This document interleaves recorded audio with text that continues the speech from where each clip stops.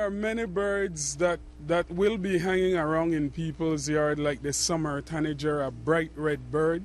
Um, we get a lot of calls about that bird to find out what's the name. Um, this is the time when you will see that the Baltimore Oriole, another bird that Belizeans tend to be attracted to.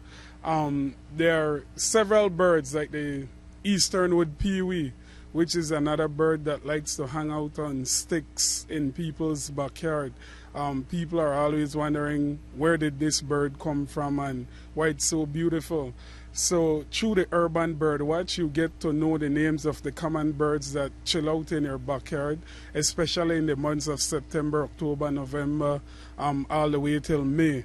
So we always encourage people to join us and participate in the Urban Bird Watch because it's free and you get to know the names of the birds. Now, I know that uh, it started last weekend, well, this past weekend, and you guys went down to Dangriga. Tell us about uh, what you guys saw and the turnout, whether it was successful.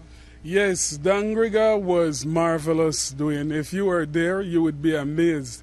What we saw this past weekend, October 5th, um, in Dangriga was thousands and thousands of egrets migrating.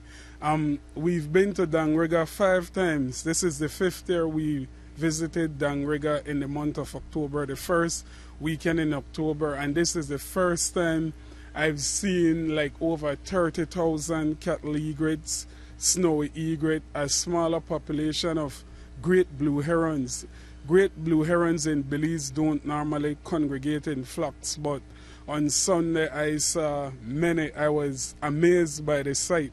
Um, and I was also encouraged and happy that students from Ecumenical Junior College showed up to participate.